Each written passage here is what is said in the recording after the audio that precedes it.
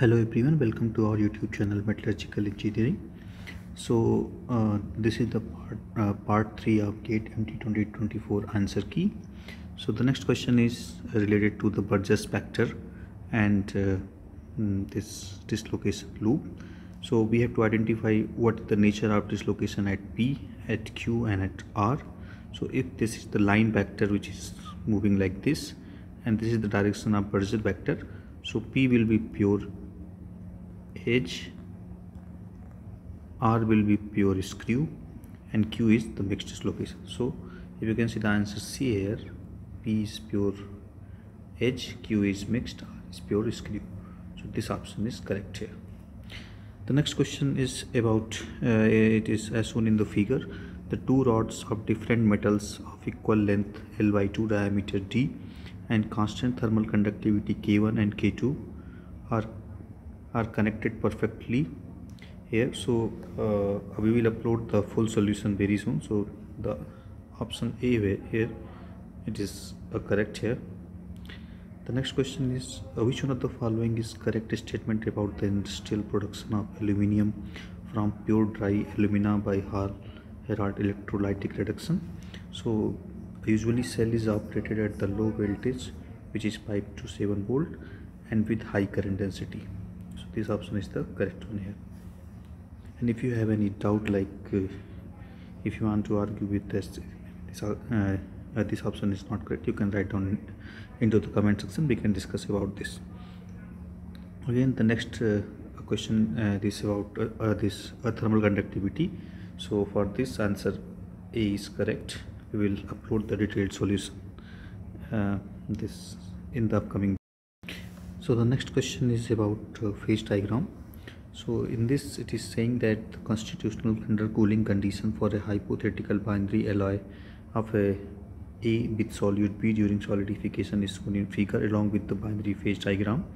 So we have to identify it based on these two schematics. One can conclude that the solute concentration in the region X which is this one will be less than or greater than or same or independent of the average composition this one so if you can compare here if you can see the liquidus line is just above the temperature and this one is the uh, temperature of the liquid. So the correct answer will be here less than the average composition of the liquid. So we are talking about this region here. The next question is about the creep uh, hmm, the creep test. So a creep test of pure crystalline hmm, crystalline uh, this metal is performed in tension and the creep strain rate is observed to decrease during the primary stage. The creep mechanism is later uh, determined to be dislocation climb control and the observed decrease in the creep strain rate is are this due to so the correct answer is there increase in the dislocation density which of the following statements are correct so ultimate analysis of coal involves a determination of moisture, volatile matter, fixed carbonate. So this is correct here. Roasting involve uh, reduction of sulfide ore to pure metal. So this one is false here. White metal is produced by oxidizing iron and sulfur during the smelting of copper iron matter. This is true. A reduction of austite in blast furnace occur at the lower part of the stage. This is true. So option A C and D is the correct here. Now the next question is again on the microstructure. So there are three microstructures are given for the quench steel tempered at three different temperature.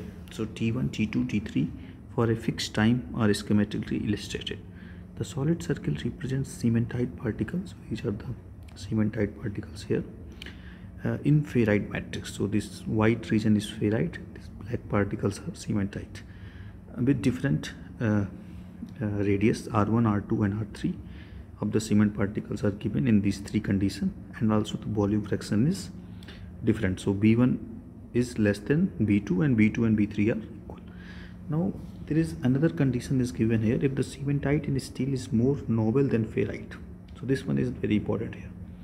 If it is more noble than ferrite it means that if you have a larger ferrite content that will corrode faster this is what the this question is asking. So then which one of the three microstructure will have the highest corrosion rate when exposed to aqueous solution of this?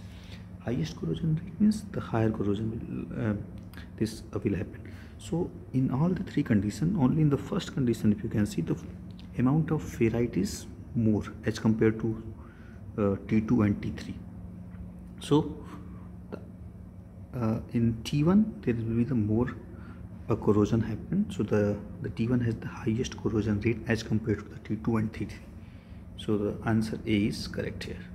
There is one more condition like there is an effect of temperature as well but uh, based on the volume fraction we can only conclude that this T1 has the highest corrosion rate. Now come to the next question. Which of the following statement is are correct for the joining processes? So in this case the in case of soldering and forging the filler filler material has a melting point lower than the mm, that of a metal joint is correct and the friction welding is a solid state joining process this is the correct and other two are false the next question is on Griffith criteria. So there it is given which one of the following graphs represent Griffith criteria for the growth of a crack in a brittle isotropic infinitely large plate with a center crack. So if you have a infinitely large crack with a center infinitely large plate with the center crack length. So how the graph will looks like for the uh, energy release rate in terms of uh, uh, total strain energy and uh, surface energy so usually i mean if you have seen this graph like this so this is the total energy versus crack length a so for the surface energy graph looks like this and for the uh, this strain energy it looks like this. And then average will happen something uh, the average of these two here and this one is the crack length. But here given this delta c is the magnitude. So when you just uh, use this one particular so the magnitude is given so this curve will be like this. So now you can see the option uh, not C because this is the crack length. So option C here see this one is the correct option. So only the trick is given that they have given the magnitude of the strain energy. So you have to just uh, uh, this reverse uh, I mean this particular part here. So you have something like that. the next question is uh, regarding uh, assertion and reason. So there is given the first one is given groups are made on the surface of the roll rolls parallel to their roll axis to achieve large thickness reduction in short time.